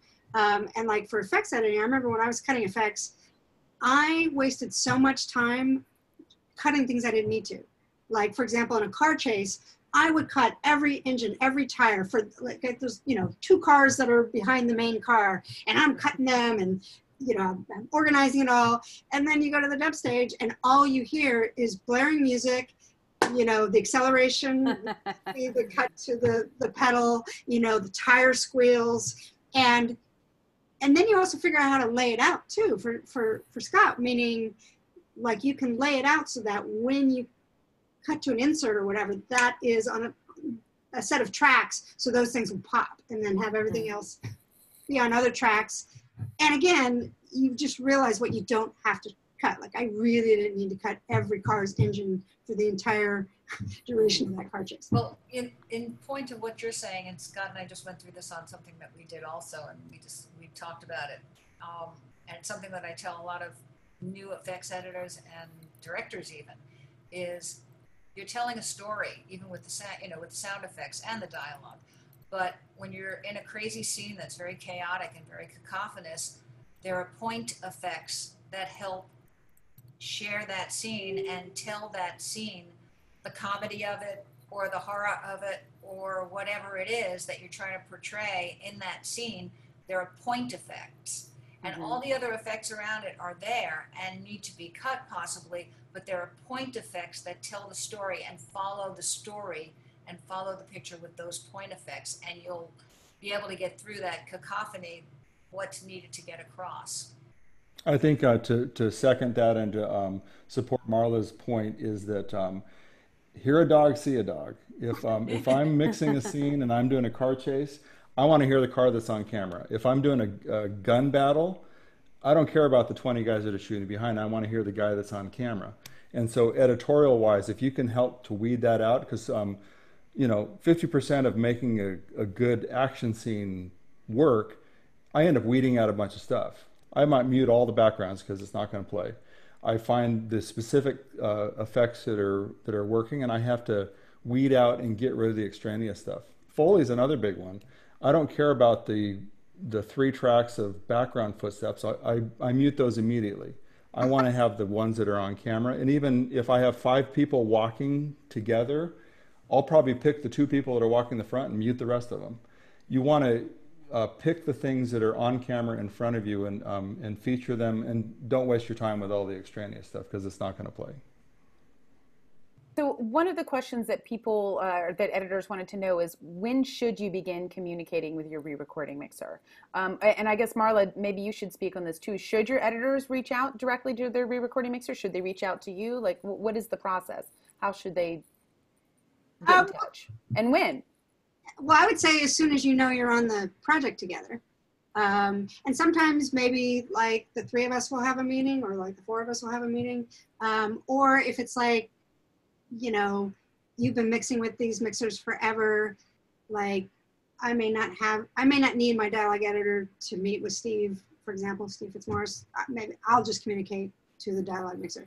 But somebody has to communicate with somebody. So, um, and I'm usually the point person um, because I'm the liaison between the clients and the mixers and the picture editor, uh, sound editors. So I would say uh, communicate as soon as you know that who's on it and when it's starting, and you know get that relationship going. If especially it's somebody you don't know, um, and if it's going to be too in the weeds about specific questions that the dialogue editor has for the mixer, and now I'm just kind of in the way, I'll say, okay, you two talk about that because that's like now we're getting in the weeds. Excellent. And I actually have a couple of questions specifically for you as a supervising sound editor. Um, how much do you expect your sound editors to cut in a, in a given day? Like, what is a typical workload that, that, that you feel is fair for uh, an effects editor or a dialogue editor? Generally, it's about eight to 10 minutes of screen time an hour or so. I mean, sorry, a day. So it's like one minute an hour. Bam! No, it's- yeah. Yeah. So, you know, it's it's going to depend on how complex the scenes are. So there's going to be some scenes that might be a lot easier. Like let's say there's like a montage in the middle of it. it's like all music. Well, you're going to blow through that pretty quickly. Um, but yeah, generally about an hour per screen minute um, is a good place to start. Okay. And, and um, what are some specific characteristics that attract you to a particular sound editor? Like, why would you hire an individual? Like, what are the things that make you go, "Ooh, that one, I, that one's the one for the project. That's my, that's my guy." Well, I will tell you, all things being equal, like let's say you've got two or three people that have similar resume, similar skill set. Um, of those three, personality is going to get them over the finish line. Meaning, if there's somebody who doesn't complain, they've got a great attitude, they're up for anything, they don't get defensive. If you need to tell them something really important about the nature of what they're doing and how to make it better, like I'm going to take them all day, every day. In fact, I might take somebody who doesn't have as much experience as an editor who's got an attitude and then just kind of mentor them and get them be there creatively and technically because personality and diplomacy and there's a bunch of politics. The politics don't come into play too much with the editors. That's more things that happen with the backfield and on the dub stage and that type of stuff. But but to answer your question um, just a really good attitude because i'm assuming if you're coming to me you've got the skill sets. Or if i if you referred to me by somebody you know, like any of you, all right, I know that they can actually cut, um, but are they going to be a pleasure to work with and are they really going to, you know, complement the team? Because these, these scenarios can get really stressful really quickly. You know, we can have a situation where the picture department is just doing what they're doing and they don't care that they just cut down your time and now you're short turnaround. And, you know, there can be some really extenuating circumstances that make everything truly tricky, you know, and if I, and if I know that somebody will roll with it and not get upset and not get angry and not stomp around and just be like, okay, what do you need me to do? You know, um, that's, that's going to be my good fit. That's They need to be cool as a cucumber. That's right. I love it. I love it. And, and uh, uh, two more so, uh, sound supervision questions. Although I think that it'd be great if uh, Scott and and uh, Sherry, if you could jump in too. Um, one is um, how do how does sound supervision contribute creatively to the final mix on the dub stage? Like, what is the creative contribution of the sound supervisor? Well, I would say first the fact that the sound supervisor has been with the project the longest of anybody in this particular world. So, you know, I may have been working with the picture department early on. They're asking for things here and there. They're sending me little clips. Then I go to the spotting session and they convey what it is that they want. So, you know, the producer, the post producer is not going to come in till later, like the second day or in the third day, depending on the dynamics and how busy they are and all of that. So I'm the one who kind of knows, generally speaking, what it is that they're after. So my one of my contributions is that I can communicate that to the mixers. Like, oh, you know what? I really know that they are attached to the temp here, so don't even bother, you know, adding stuff or, or let's go with the spirit of it. Um, so so that's one thing. The other thing is that while I'm sitting there, even if you know, uh, Scott's offline, let's say, or he's on the headphones and it's just Sherry and she's going along and she's doing her thing. Um, I'm already thinking of fixes and I'm, I'm paying attention to everything and circling back with stuff. Now, I'm not going to pester her every five minutes with a fix. Here's a fix. Here's a fix. Like, I'm going to kind of like make a list as she's going because that first day, as you well know, Karol, um, you guys are just finding your footing. You're getting acquainted mm-hmm characters if you don't know the show and what you yeah have. you're just weeding. You're just oh, yeah. so you, know, you have to train the clients if, if for any reason they're there on day one is don't jump in. We'll get to it. Just let them you know go through the material. And so so i'm like following along and going oh you know what? I think i can find a better alt for that or i think mm-hmm. there might be a better mic but i'm not going to bother Sherry with that information like let's say I'm still shooting the ADR, um, I may find that better mic or that alt, and I'll include that in my fix session A, let's say. And then, you know what I mean? Like she thinks that she's just getting a session with ADR, but I'm sneaking in something. But I'm not, you know, I, I don't want to, they've got a lot going on in the mixer, so I don't want to take up any bandwidth, you know, of, of their attention. You know what I mean? Mm-hmm. So I'll just without having to speak everything all the time. I'll just, you know, include it, and then they'll get to it, and they'll go, "Oh, she's got it all," and then they'll, you know what I mean? So, so mm-hmm. that cuts down on the time because every time you speak on the dub stage, you're taking up time and energy, and everybody has to focus on you and see what it is you have. I feel like you've done this for me before, and I've been like, "Oh, that's great," because in my mind, some I, I I'll mix and I have a little bit of a Uh, you know, always have the clock in the back of my head going, okay, you know, we need to get to about here by here, and I have mental goals I need to achieve. And I've, there have been times I, I feel like I've I've mixed, and uh, there's been a section where uh, I've been like, all right, well, it's not the greatest, but it's way better. I'm just going to hold on it. We're going to come back to it. I'll put a marker in. And then lo and behold, you've been like, I found this really cool alt. And I've been like, ah, yeah. it's really wonderful. yeah, because I got other things going on. Yeah, yeah. I want to, I want to, I want to, um, I want to second what you're saying, Marla, about um, waiting for the mixers to get through their first pass. Because a lot of times when we're trying to sort through stuff, it's good for us to do that. Um, there are super. I've been, had occasions where supervisors have been too heavy-handed on the stage, and it's um, their input needs to be at the appropriate time. yeah, it's um, valuable, but yeah, it, I, I, exactly. Yeah, and right the other time. thing I really appreciate is um, I've had supervisors that have gone through because they they haven't always heard everything the effects editor or the dialogue editor, and they're going through in headphones while you're working, and they, they've they're coming up with adds and stuff before you even get to them, and, and getting that nice little add session that has all the stuff that um, you know that's a nice subtle way of doing that. Also, um, once you get to the point of having the producers come and play back the show, the supervisor, um, if they can slip back into more of a supportive role where they're reacting to notes as opposed to imposing their note, their, their what they want the mix to be, that's very helpful to the process as well. It helps all of us be more of a team, um, creating the um, the type of sound that the producers want. And, I would just say a lot of a lot of times. Let me just say this: a lot of times when you're working on a show, on a series that's continuous, and you're working with the same supervisor day in and day out, week in and week out. The wonderful thing is you can develop that silent language of you're struggling with something, and they may be on headphones, so they're not aware of it. And you turn around and you just look at them, and they take off their heads, headphones, and they just nod back at you because they realize, okay, got it.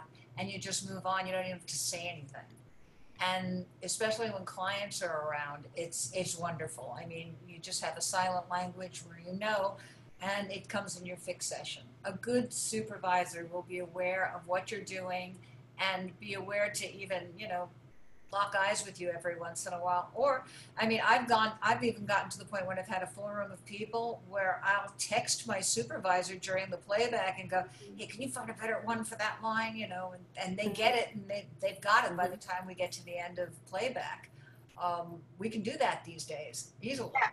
I was just going to say, I was just going to say about texting. Um, the dub stage can be a landmine. how else to say that? Um, I mean, everybody's very friendly and it's all it's all good, but you know, everybody's human at the end of the day, and they have their own needs, mm. and they're very susceptible to things. So, like for example, well, the clock is running. The clock is running, clock is running, we're on. Yeah. Let's say you miss a line of dialogue, meaning somebody comes in, maybe it's a showrunner.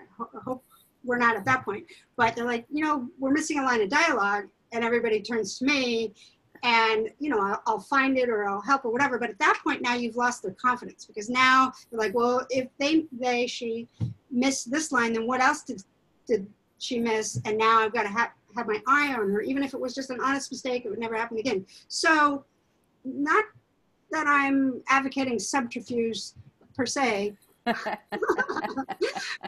sometimes, for example, what I will do on the dub stage, and I don't know if any other supervisor does this because, as Sherry knows, we've been through this. Um, you know, uh, if if a line of dialogue is missing, or if a line of dialogue is added, like let's say they broom something intentionally, and the dialogue editor is working and they handle out or whatever, and it makes sense with the story in that moment, um, and they leave it in, but it's not what's in the guide track that can be as big of a mistake as of missing something. So what I'll do is because there can be a missing line at any point, missing word of the process, like maybe didn't get in the assembly because maybe that line of dialogue is in the effects AAF and so it didn't get in the dialogue assembly bill. Well, they're mm-hmm. still gonna, that's still your fault. You know what I mean? I mean, that's how they'll view it is that I missed the line of dialogue even though it wasn't on their EDL. That's okay. Again, not about finger pointing, it's about solutions. So a line of dialogue could be missed at that point. It could be missed by the dialogue editor because the paper's over it with fill or something. two weeks uh, later. Somebody's in Japan. Um, or it can be just accidentally on the mix stage. It gets either muted in the session or the fader's down. And and the, the ones that usually get missed are the ones that it plays without them. Um, mm-hmm. Like it, like you know, if somebody's got their lips flapping, everybody's going to notice early in the process that we're missing a line. Um, so what I'll do is during one of, well, actually most of my playbacks, I will, with my Pro Tools, I'm not actually running in sync with the dub stage just because I'm not really tied into the time code, although you could be. But I have a way of pretty quickly getting in sync with the stage picture to the point where it's kind of phasing. Like I'm hearing the mix at my right ear, and I'm hearing the guide track on, I, uh, on, my left ear. And as we're playing back, yeah, I'm doing my notes and I'm writing things down like mix notes that I have, which by the way, I'm not always going to chime in because I'm mindful of the clock and I'm mindful of everybody else getting their notes mm-hmm. done, unless it's something like a missing line. So in that case, or unless there's time, maybe everybody finishes their notes and they're like, Marley, do you have anything? Like, yeah, I would really love that. But so in that way, even if the dialogue editor had all the pieces and God forbid Sherry just had a fader down, but if I was just checking the dialogue guide against a dialogue cut, that's not going to solve the problem of if on the mix stage the fader's down or something. So if I'm listening to the actual mix and I see a word is missing or a word is added, I will text Sherry or Karol and I will say, missing line of dialogue, it's on AAF2 at this time code, and then they will usually very with it with you know very very calmly be like maybe even when the, the backfield might be talking to themselves they might either slip it in or the producer's going to have that note.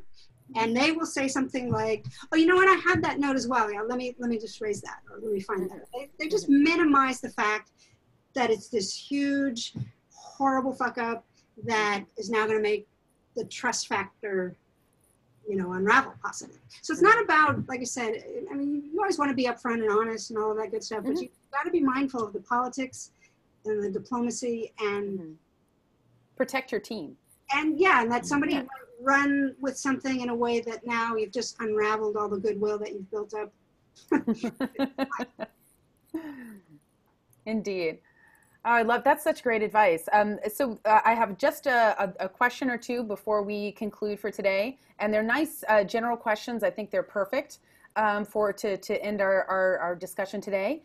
Um, the question is, when editors attend the mixes, how do you arrange that? How should you bring it up? And what is good etiquette while sitting in on the mix? um, well, I would say how you arrange it is, especially if if it's not one of clients there, then it's then I just say to Sherry and Scott, hey, the dialogue editor, the effects editor wants to come sit in. It's day one. You mind if they just kind of sit in with you? And then they'll, you know, 99% of the time say, yeah, great, bring them. And then they'll sit there quiet as a mouse um, and let the mixers do their work. Um, if for some reason you want it a little later in the process. And sometimes it may just be because I want them to develop a relationship with the client as well. Um, you know what I mean? Like, like my personally, if there's a mistake on the stage, I'll usually own it. Like I'll usually say, "Oh yeah, I should have blah blah blah," because I have a relationship with the client, generally speaking. But if I throw my dialogue editor in the bus, it's human nature. They might say, well, I don't want to ever use that dialogue editor again, but mm-hmm. they'll forgive me because we have this relationship.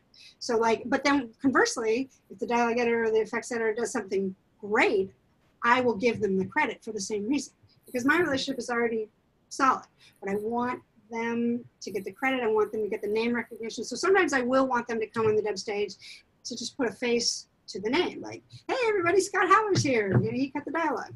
And then, but then it's also incumbent upon Scott at that point not to suck up all the energy in the room, but to just kind of blend in, be very nice and cordial.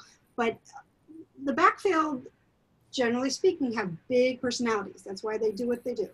Do you know what I mean? So you really need to take the temperature of the room and, you know, not um, just take up all the space with your own little anecdote or what you know what I mean? Just like the, the, other the other important thing is when you have a guest on a stage, you have to talk to your AP because a lot of times it involves um, permission mm-hmm. and signing a non-disclosure or a ND so that everyone's cool. So I think when we've had people come in on a show that's maybe a little more high profile, you have to make sure and um, and go through the proper channels to make sure that it's okay that someone else is on. Right, but if it's the editor on the show, it's it's you know it's different because they've already seen the show. Yeah. But, but for anybody else, absolutely. But as far as that, I mean, I, I'll let them come and sit right next to me. I don't like them even sitting in the backfield behind me. I want them right next to me because that's where they'll get the benefit. And I ask them to, you know, please don't query me about anything during the session and lunch break or afterwards. I'll, you know, I'll answer as many questions as I can. And if I have a point to make to them, I'll turn to them while I'm working on their session and they're cut and say, see, if you had done, did you see what I just did? And that was because if you had done this, I wouldn't mm-hmm. have had to do that. And they go, ah, yeah, got it. So hopefully those are the kinds of things that they get to see when they're there. And that becomes helpful to the editor in the long run. I, I would second that, Sherry. I actually had a, a wonderful, wonderful, wonderful dialogue editor who, God bless her, came and sat it on me, and she um, had struggled with the scene that was next to a highway during kind of a windstorm with a crazy generator, and it was just a wall of. And we had spent a lot of time on it, and she did a wonderful job, and I thought I did a really good job. And basically, she she remembered the original, and she was there during playback day and wanted to say, "Oh my God, you did! It's such it's such a good job how it all came together." Um, but by mentioning that, which she did uh, to to give a compliment, like in good effort, is all of a sudden the EP's direction focused was now on the noise of that scene, and it made that scene another hour and a half of, of playing with it. And, and and later I had to pull her aside and be like, "I love you, I adore you, I appreciate it. Send me an email. Wait till after. Pull me aside." I don't mind. I want you to ask questions. That's why you're there. I want that communication. But how things are presented to the client, as Marla was saying, it's not about uh, it's about being cohesive and being strong in your appearance in your service for the client not about being deceptive but it, it can very easily change the temperature of the room you know? Yeah, big deal. Big deal big deal. And the people who navigate that the best are incredibly successful in this industry. Incredibly successful. In fact i would say uh, scott and, and sherry you guys do that super super well and i've definitely seen marla definitely take a room's anxiety and just that is that those are excellent professionals. That is a professional skill in in this industry. Thank yeah. You, but I want to say one thing, and Marla is the one person who can relate to this. I think what everybody needs to learn pretty early on is that we're not doing brain surgery. And the way that you come into a room and interact with the clients is what will bring the room feel up or down. And I have to say, from in my early days at certain points, it's like I did think it was brain surgery, and it was like I had to learn to chill. And luckily, at a certain point, I just went, wait a second, I want to have fun doing this, and this is going to be, you know, and everything changed for me at that point because it was at a point in my career where it just needed to happen. I needed to, to own the fact that I was kind of being a bitch for a while, and I didn't want to be. Um, and luckily that was many years ago, but Marla can remember because she knew me during some of that, some of those phases. But there were also a lot of extenuating circumstances presented around that time period in our industry and what I was doing. Guys, thank you so very much. I honestly, I wish I had had this uh, this conversation and this openness about knowledge in my career earlier. I think this is just wonderful. Um, this is all the time we have for today. Uh, but I want to thank all of our guests and our viewers. Thank you so much. Um, I would like to specifically thank uh, April Tucker and Karrie Keyes for organizing and bringing us all together today. And finally, I just want to say thank you to SoundGirls. Thank you for being you. Thank you for being there. Thank you for representing. Absolutely. Um, yeah, have a great uh, day and uh, happy sound editing. Yes. Great fun. Thank you guys. Thank you all.